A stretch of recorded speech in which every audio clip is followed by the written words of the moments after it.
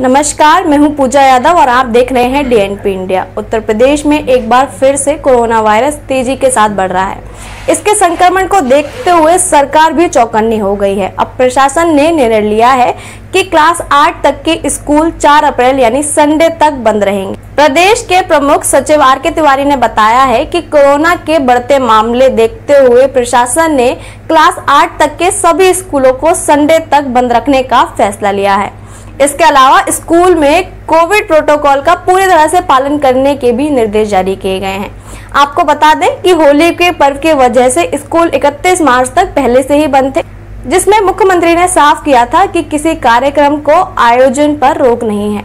लेकिन जुलूस और ऐसे और कार्यक्रम और पब्लिक प्लेस पर गैदरिंग करने की मनाही है। राज्य में कोरोना वायरस के संक्रमित मरीजों की संख्या लगातार बढ़ रही है। हर दिन नए मामलों की संख्या बढ़ने का सिलसिला अभी भी जारी है।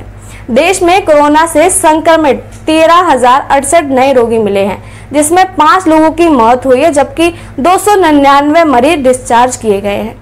आप देख सकते हैं कि किस तरीके की परिस्थिति है तो हमें सतर्क रहने की अभी बहुत ज़रूरत है। आप सोशल डिस्टेंसिंग का फॉलो करें। इसके लिए डीएनपी में इतना ही। अगर आपको हमारी वीडियो पसंद आए तो आप इसे लाइक और शेयर कर सकते हैं। और अगर आप हमें कोई सुझाव देना चाहते हैं तो कॉमेंट के माध्यम से आप हमें सुझाव दे सकते हैं। और अभी तक अगर आपने हमारे चैनल को सब्सक्राइब नहीं किया है तो प्लीज़ हमारे चैनल को सब्सक्राइब करें।